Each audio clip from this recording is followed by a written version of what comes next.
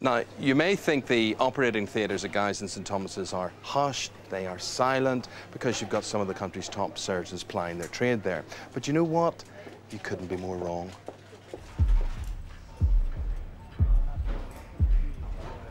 They can be on their feet for 12 hours at a stretch, often in the middle of the night. So what helps some of our top surgeons concentrate?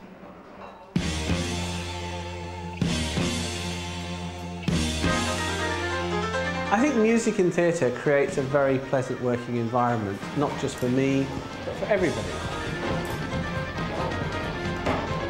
Every operation has its rhythm. Stitch, stitch, stitch. So I've kind of set up the playlist, so depending on what I'm doing, it has the right rhythm.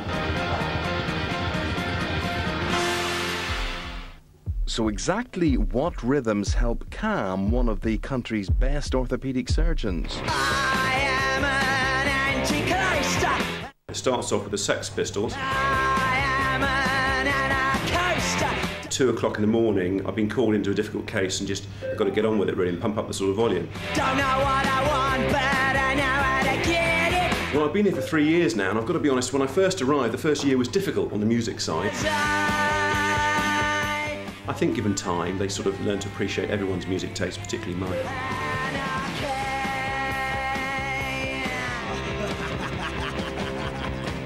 But across the corridor, it's all rather more refined.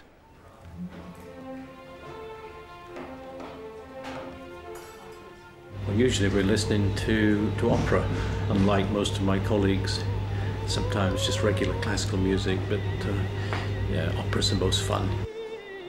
If, if you got a CD that lasts for about an hour, that would be the typical length of an operation. So you should just be closing up just, um, just by the closing bars.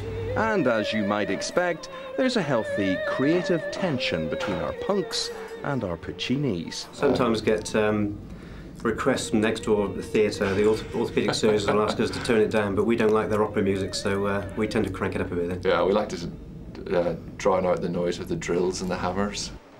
So, is there someone who can broker a music middle ground, a surgical solution to smashy and nicey? I do like ABBA, and I have to say that my favourite uh, song for operating to has to be Dancing Queen.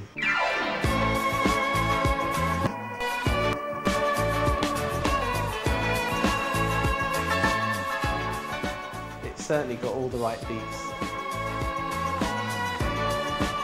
That doesn't mean that I'm a queen. But sadly, two Swedish girls just don't do it for one surgeon. Actually, I find music actually quite disruptive in the operating theatre. I sometimes let them have the radio on, but usually, usually the staff sort of turn it off after a while because I besiege them with uh, trivia questions on the artist and year, uh, or I sing along. So usually after half an hour, they, they give up. With or without music, they're all stars in the theatre, but maybe some still long for the stage. Occasionally play drums. I sing into my mask. Oh, I'm a great air guitar player and a super drummer as well. But until that recording contract arrives, listening to music's just one more way to get the job well done. If you enjoy the atmosphere you're working in, then you enjoy being there and you enjoy coming into work every day. Yes,